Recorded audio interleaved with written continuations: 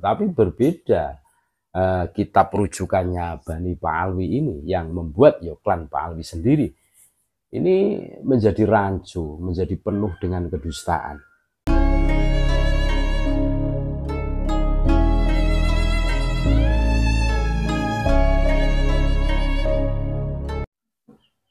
Assalamualaikum warahmatullahi wabarakatuh Saudara-saudaraku sebangsa setanah air Di mana pun Anda berada, berjumpa kembali dengan kami channel Bejo Dunyo Akhirat.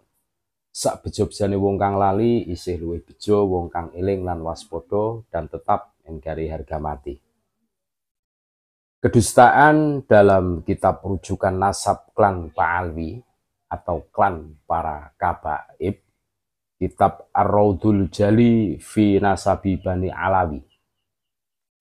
Kitab kuning identik dengan sumber petunjuk kebenaran. Ini di kalangan pesantren ini sudah familiar dan terkenal. Sumber rujukan dan seterusnya. Maka hal ini tidak berlaku lagi dengan ditemukannya kitab rujukan Habib Klan Pa'alwi dibuat oleh kalangan klan Pa'alwi sendiri yang berisi kedustaan. Tetapi berbeda uh, kitab rujukannya Bani Pa'alwi ini yang membuat ya klan Pa'alwi sendiri ini menjadi rancu, menjadi penuh dengan kedustaan. Kenapa kami mengatakan penuh kedustaan? Berikut ini kami sampaikan hmm, kemuskilan-kemuskilan, keanehan-keanehan yang di situ itu ya cenderung menuju ke kedustaan. Adalah kitab Ar-Raudul Jali fi Nasabi Bani Alawi ini salah satu kitab referensi Robitoh Alawiyah yang ditemukan adanya banyak kedustaan di dalamnya. Yang pertama, ya, kebohongan pertama. Silahkan baca kitab Ar-Raudul Jali Finasabi Bani Alawi halaman 132. Baris atas. Di sana menampilkan isi surat atau tulisan dari Imam Az Azwarkoni Imam Al-Azwarkoni sosok ulama besar ahli nasab. Konon di dalam surat itu dia menambahkan sosok Muhammad Maula Dawilah sebagai keluarga Ba'alwi. Kemudian baca catatan kaki dari pentahkiknya nomor 4 di sana dikatakan bahwa ini sangat muskil atau sangat aneh. Pentahkiknya menjelaskan di sana bahwa Imam Al-Azwarkoni itu sudah wafat jauh sebelum Muhammad Mauladawilah lahir. Bagaimana mungkin orang yang sudah meninggal bisa mengirim surat? Ini kan bohong loh. Orang sudah meninggal kok mengirim surat. Ini kan lucu, muskil, bohong kan. Itu yang pertama.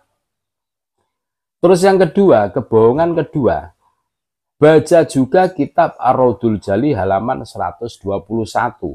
Di sana menjelaskan bahwa seorang ulama yang bernama Mus'abuz Zubairi menceritakan tentang di tasghirnya nama Abdullah menjadi Ubaidillah.